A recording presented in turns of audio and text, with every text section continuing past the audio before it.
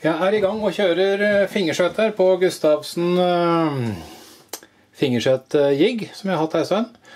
Uh, nå skal jeg lage litt mange, så jeg vil ikke bruke CNC til denne oppgaven, for det vil ta altfor lang tid. Jeg vil snakke om en, fort en to, ja, i hvert fall 100 sånne sider som jeg skal kjøre. En 25-30 sånne bokser. Jeg eh, har da kjørt med en vanlig 12 mm fres eh, og opplever at det slår litt og river litt. Eh, og at den må følge med litt. Jeg ser at det fort blir litt utriving her. Så jeg har da i dag gått til innkjøp av en skrubbfres med spiral og er veldig spent på å prøve den. Så jeg skal da først kjøre en her nå med den fresen som står i, og så skal vi bytte fres og se om, eh, om det var et godt kjøp, eller om det var et bomkjøp.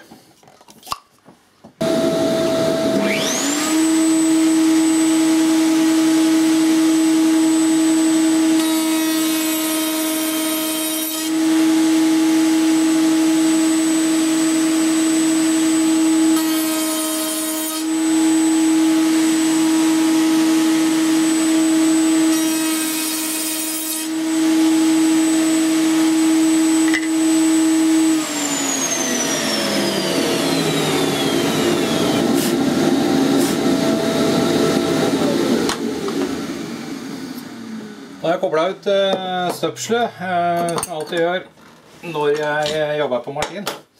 Sjansen for at maskinen starter, er veldig liten. Uh, men risikoen, eller skaden, hvis maskinen skulle starte, er så stor at jeg velger å gjøre det. Selv om det kan virke litt sånn overforsiktig.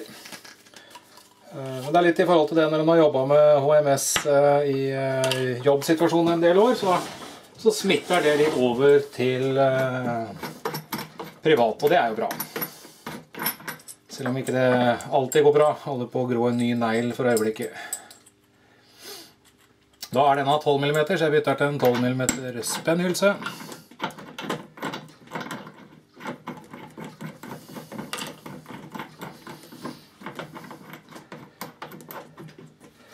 Den fresen her har mye større skjæreområde enn det jeg hadde trengt, men eh, det er for øyeblikket den som var tilgjengelig i hylla.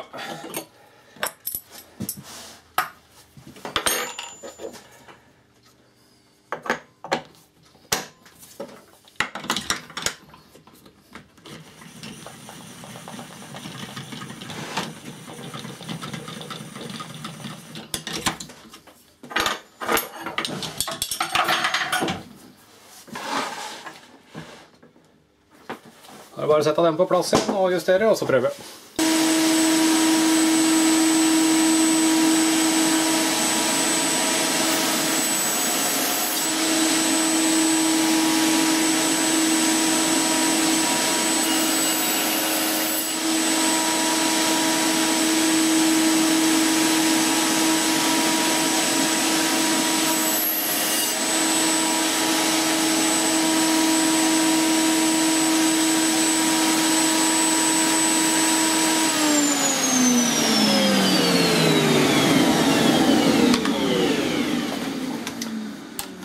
Det var mye bedre enn jeg hadde drømt om. Eh, støynivået er vesentlig lavere. Eh, det er ingen vibrasjoner når en jobber med det.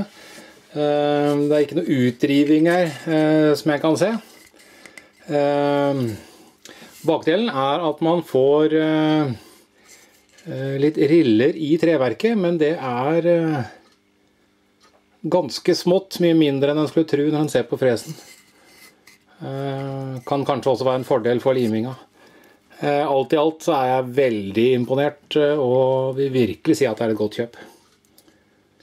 Det var gøy. Eh, vi tror også at lyden var vesentlig lavere. Merka når jeg hørte inn i hørselvernet, så var det veldig lite lyd. Så skal vi lage en til, og så skal vi se om vi får det sammen.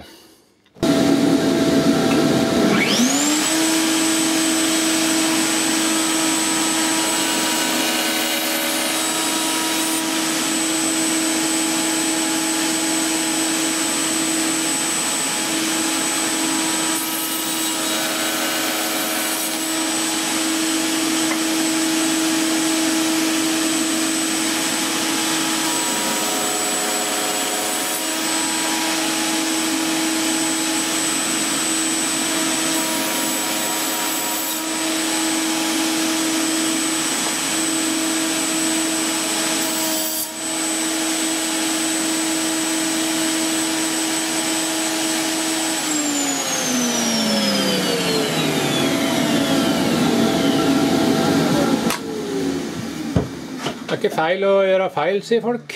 Eh,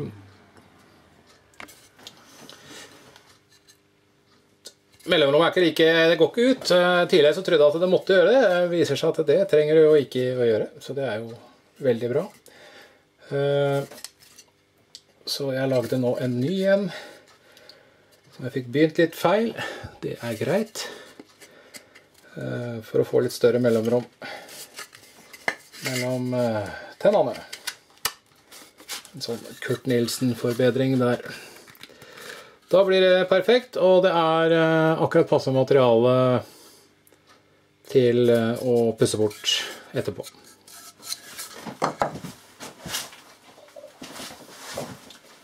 Og så har vi juksa litt, og etter pussing så blir det veldig flott. Og en fin måte å bruke opp eh, restematerialer. Bygge små bokser og sette fra seg ting. Merke det på utsida.